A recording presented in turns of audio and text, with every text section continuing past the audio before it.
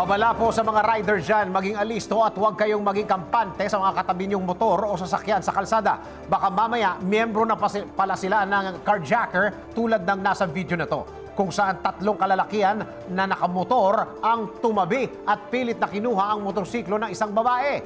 Kung ano ang ginawa ng biktima at tuluyan o tuluyan bang natangay ang motorsiklo nito? Alamin natin sa report o sa trending report ni Victor de Guzman.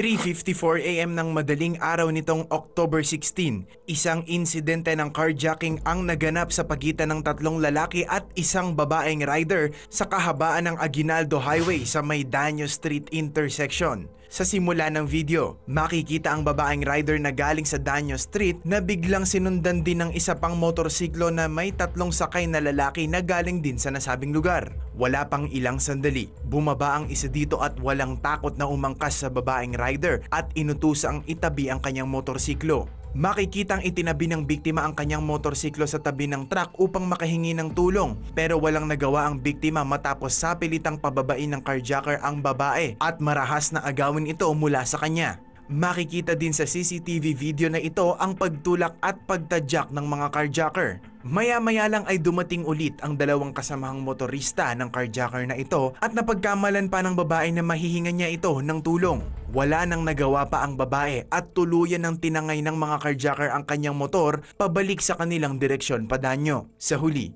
sinubukan pang humingi ng tulong ng biktima sa ibang sasakyan pero wala pa ding nagtangkang tumulong dito. Para updated ka sa mga haganapan sa loob at labas ng bansa, mag-subscribe sa DZRH News Television YouTube channel. Mag-like, share, comment at i-ring ang bell para araw-araw updated ka.